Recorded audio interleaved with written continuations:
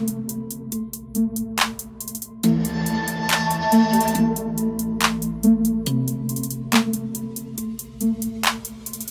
you